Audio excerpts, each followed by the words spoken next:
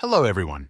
In this video, I'll show you how to change your Twitter or X settings so you can view sensitive content.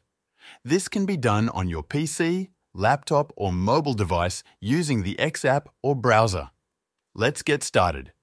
Begin by logging into your X account. You can use the X app or a web browser. The process is similar. For this demonstration, I'm using a browser. Once logged in, locate the More option in the left-hand menu. Click on it to open a drop-down menu. In this menu, you'll see an option labelled Settings and Support. Click on it and then select Settings and Privacy. This will take you to the main settings page, where you'll see a variety of options for managing your account, security, privacy and more. Next, find and click on Privacy and Safety. This section allows you to customize your privacy preferences. Inside the Privacy and Safety menu, locate an option called Content You See. Click on this option to proceed.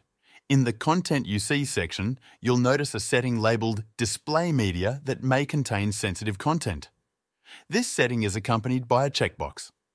By default, this box might be unchecked, which prevents sensitive content from appearing in your feed. To enable it, simply click the checkbox and it will turn blue, indicating that the feature is now active. Once you've enabled this option, you can return to your Twitter home or Explore page. You'll now be able to view sensitive content without restrictions. That's all there is to it. This quick adjustment to your settings ensures that you can access sensitive content on Twitter whenever you need to. Thanks for watching.